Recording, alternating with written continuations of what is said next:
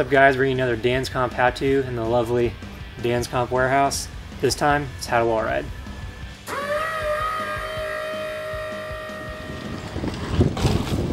So wall rides are probably one of my favorite things to do because you can literally do them just about anywhere.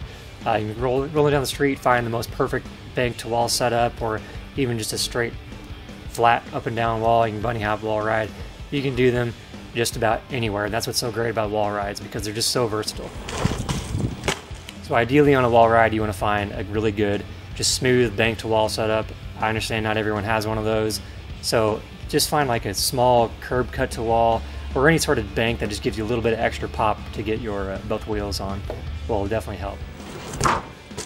So when you find that comfortable setup, you want to go at a moderate speed at a slight angle to the wall.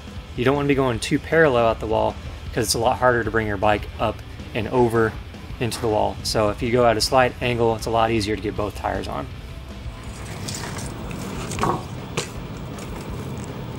So first thing you need to do is go at the slight angle, a comfortable speed, bring the pull the front wheel up, start the bunny hop, and you need to throw both tires in the wall. And that's what usually gets everyone because they'll do there's some weird like tabletop wall ride thing with their body straight up and down and they bring the bike sideways and it just doesn't work like that. You need to think of it like you're carving a transition or just some sort of vert where you bring both wheels into it and really carve the wall. It's a really similar feeling. So landing a wall ride is probably the easiest part of the wall ride. Because really all you need to do is pull your front wheel off, uh, your body will naturally level out, and your back wheel will follow. Uh, for some extra style points, you can start bunny hopping off the wall when you get more comfortable. But just for a basic wall ride, just pull the front wheel off, spot your landing, roll away.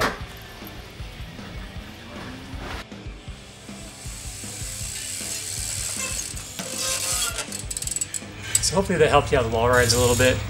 Uh, wall rides are actually not that hard once you get over the fact that, okay, you're going to ride your bike on this wall. Once you get over that commitment of throwing both wheels into the wall, you pretty much got them. They're really not that hard. Um, and plus you can do tricks in and out of them, bar spin in and out of them, wall ride 180s, gap the wall, wall ride tabletop, wall ride turn down, wall ride your friends. I mean, plus chicks dig wall rides. I mean, you're riding your bike on a wall. How's that not impressive? So, just get out there and keep practicing.